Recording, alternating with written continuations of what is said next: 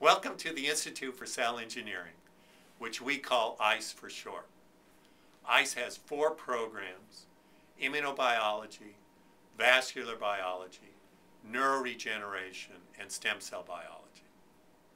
ICE was established to generate fundamental biologic discoveries in the area of cell engineering, including stem cell biology, and to develop novel approaches to engineer cells with a focus on human disease.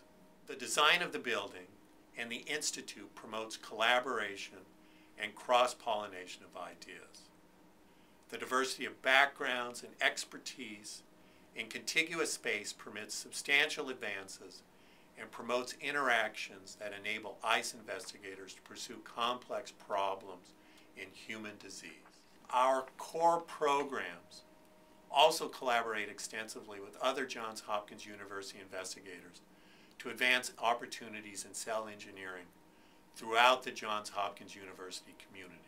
We are also focused on training the next generation of cell engineering scientists. Our current and future trainees are at the heart of our advances and discoveries. I'm excited about what ICE has accomplished and what the future holds for cell engineering to develop new treatments for a host of human diseases. I welcome you to explore ICE.